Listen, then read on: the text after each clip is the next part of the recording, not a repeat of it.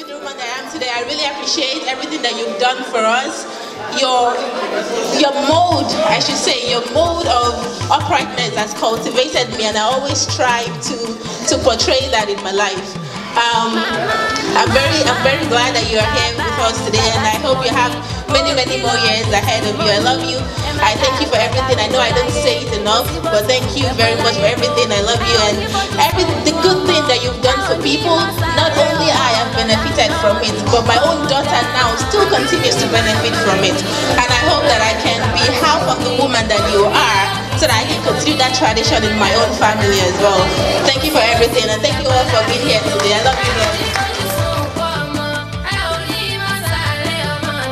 This event that we're having it's just a small way of showing our appreciation for what all she has done for us.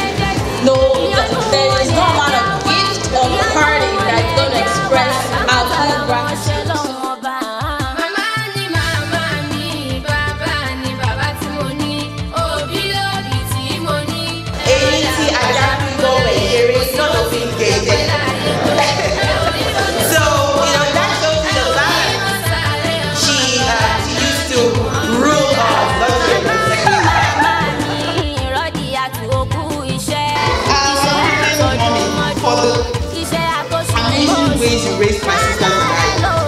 For for ways of Allah subhanahu wa ta'ala.